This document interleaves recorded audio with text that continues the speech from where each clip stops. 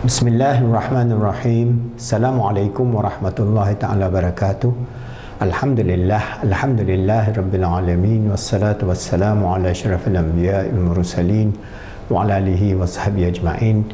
Alhamdulillah, with the grace, the mercy, the love and the guidance of Allah subhanahu wa ta'ala, we can continue our da'wah from Khalifa Education Foundation and Islamic Psychology Center for us to train uh, as many uh, life coaches as possible and we have many video, YouTube video for you to do your studies.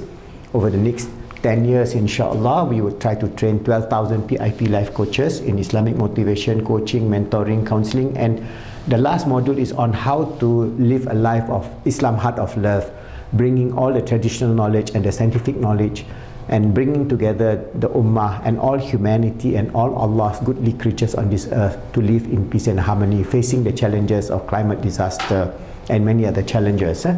So what is important is that we have to bring this ummah to be a, an ummah that start with the self, the family, the ummah and the global and the universe of how we can relate and we can relate this to a lot of our great teachers and scholars because this is the deen of revelation. This is the, this is the way that was revealed by Allah subhanahu wa ta'ala the creator our creator our God to our holy prophet Muhammad sallallahu alaihi wasallam through the agency of Jibril alaihi salam. And this deen will continue until yaumul akhir uh, the last day. So what is important is for us to know how to go about with it and that's why there's a lot of factors in terms of not only the psychology what is the nature of psychology of man uh, what is the nature of uh, uh, understanding Allah or Godhood. And we have all this uh, in terms of the research that we are doing and how we want to bring about a transformation where finally Muslims will be those with Iman, Islam and Ihsan and practicing the fullness of Islam yet can live in peace and harmony and love with all humanity and all the creatures of this earth keeping the ecological balance and changing this 20th 21st century greedy civilization to a civilization of peace and tranquility. So I have given to you an understanding of why we have to go about uh, going back to the roots of Islam. And the roots of Islam is we must know in terms of our understanding of this deen of Islam, whether the general belief that is uh, Imanul Majmul or the Imamul Al-Mufassal. Mufassal is the detailed belief. Eh? So from there then we can have the three levels of understanding Islam in terms of Ilmul Yaqin, Ainul Yaqin, Hakul Yaqin. I've given that and I have given to you that we must go back to understanding of Ilmu Tawheed or Ilmu Kalam or Ilmu, the tenets of Islam. Eh? So we have this understanding that there are understanding of the attributes of Allah. What are the essential attributes of Allah, what are the absurd attributes of Allah, and what are the possible attributes of Allah subhanahu wa ta'ala. So we are going to dive slowly, very deeply into ilmu tawhid or ilmu sifat 20 or ilmu kalam in detail, bringing the proof from the tradition, all right, all the uh, traditional proof in terms of kalam, cosmological argument. Eh? So we have given you the breakdown of how this understanding of the roots of Islamic theology and Islamic belief system starts with Ahkamul Sharia, the principle break into two that we have the Ahkamul Fara'iyah and Ahkamul Asliyah, Ahkamul Fara'iyah, aspect aspect of the Ilmu Shari'i, the science of Islamic law, uh, the science of uh, Sharia, the noble Quran from the Quran, from the Hadith, Ijma' Qiyas and Maqasid al-Sharia and how this developed up to today. So that's why Islam is a evergreen religion. It, it can live in all times and all situations. For example, you're talking about bioethics. There are, within the framework of all this Sharia and Maqasid, a Sharia, we can have a solution through Quran, Hadith, Ijma, Qiyas and Maqasid. Huh? Then we have this ilm, which is the fundamental idea that is ilmu tawheed. This is ahkamul asliyah or the fundamental principle. Without this fundamental principle, this will be void. So our tawhid must be right and our tawhid within the perspective of Islam is the Ashli, Ash'ari Al-Maturidi uh, uh, formulation based on the long debate and understanding and the depth of knowledge of our great teachers. That means when Rasulullah received his revelation and then he teaches his sahaba and then sahaba pass on to tabi'in, tabi tabi'in, all them carry the same understanding and worldview.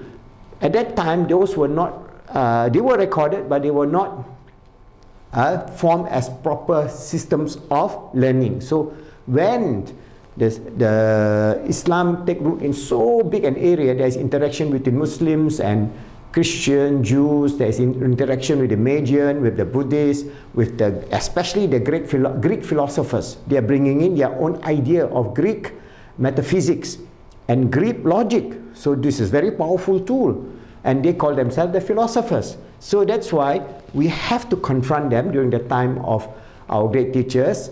And they formulated this whole understanding of ilmu tauhid and ilmu kalam eh, or ilmu usuluddin. So what is important is that when this was formulated they explain in various details the attributes of Allah subhanahu wa ta'ala. Remember Allah has all the right attributes that means the essential attributes of Allah subhanahu wa ta'ala is only known to him we do not know but we tell or we understand from the Al-Quran and from the Sunnah the 99 names of Allah, the 99 names of the great names of Allah subhanahu wa ta'ala as a basis for us to remember in the attributive aspect the, the attributes of Allah because His essential nature, His, his Zat, essential nature of Allah subhanahu wa ta'ala is not phantomable. It is only phantomable when we return to Allah. Uh, when we are here in this world, there is a, uh, there is, uh, what do you call it, uh, a hijab or a, a, veil in which we cannot transcend because we are not living in a spiritual world. We are living in a physical world. We are a spiritual being living in a physical world. So we are, there is a hijab. So the great scholars, when they confront the Greek uh, logicians and they confront the Magians and the philosophers and the atheists, because those days also they have atheists. And who are the atheists? The physicists and the cosmologists. So the same thing today, we have the same physicists and the cosmologists who saying, for example, like Stephen Hawking's passed away already, there's no such thing as God. Or, or like Richard Dawkins, he's not a cosmologist, he's a biologist, and so on. So there are people, so from all time and all place, we have to confront the atheists. And today, they are drumming up the whole worldview over the last 300 years. The whole worldview, the de facto view of science is that it is atheism. So we are in the defensive mode, but actually we have a stronger uh, detailed ability to actually convince them and logically protect this deen because there are this understanding of this ilmu, tawheed or the understanding of the 20 sifah which I will to go one by one. But the most important sifah is the personal attributes of Allah al-wujud his existence and it is impossible for him to be in non-existence. This is Al-Adam. So what is important is when we know that Allah is existence, then all the other attributes, eh, the negation of, for example, Allah is, uh, is everlastingness, Al-Qadim, eh? all right? Uh, he is he's not an accident. He is everlastingness. And so on. So al-qadim al-baqa and so on. We then will come in uh, because all the attributive aspects of Allah subhanahu wa ta'ala if we understand this from the example for example the attributive aspect his wujud he is existent. All right? Then the sifat salbiyah all right? And all the other sifas okay will give us an understanding of what is important for us to be able to defend this deen of Islam. So if we look at Al-Wujud, I'm just going to give you a taste of it only, yeah, in which we can understand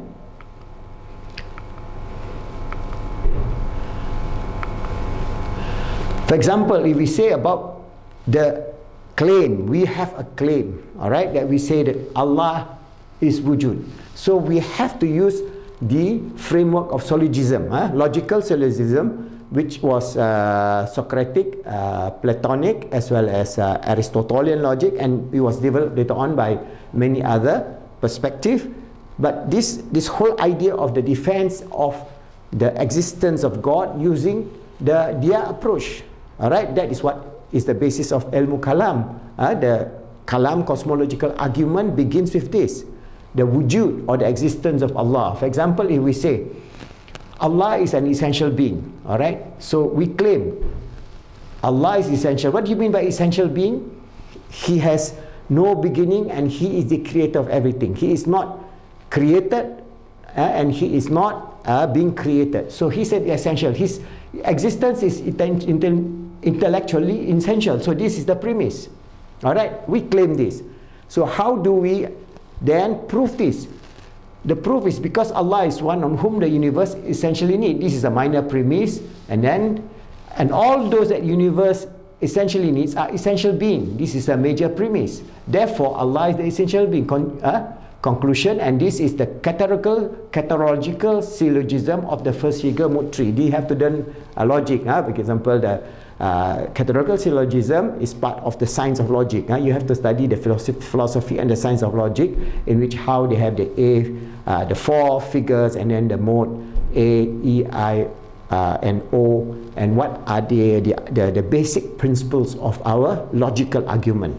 So this is the flow, and then we have either minor premises to, to, to prove. For example, the universe is an accident. So we want to prove the premise of the minor proof. Huh? That means the minor proof is because Allah is whom the universe essentially needs. So the universe is an accident. What do you mean by accident? It is a contingent being. It is created. We know it's all created. So how are you going to prove this?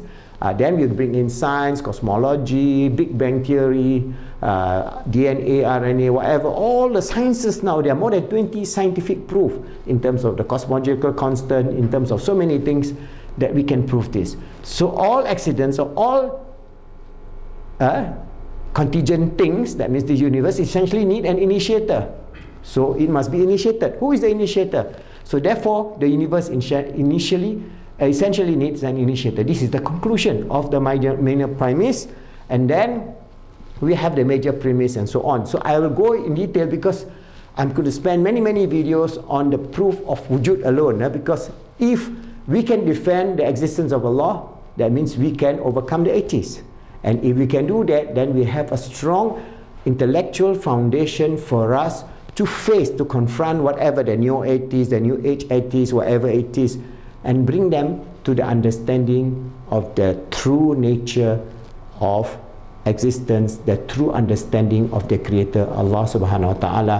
And in that way, we would then be able to expand this understanding of this ilmu tawhid, kalam cosmological argument, which I'm going to uh, complete. Huh? We have this ilmu tawhid, kalam cosmology, which I'm going to give you the details of this, how to frame our syllogism, and how to understand the science of logic in defending the existence of Allah and all the other 20 sifas as we go one by one inshallah over the next many videos with the grace and the help of Allah subhanahu wa ta'ala knowing that we have to bring about this deen in a way that is acceptable, logical and, under, and being understood by everybody knowing that we are the servant of Allah, His Khalifa, striving to make ourselves good, helping others to be good and making the world good inshallah.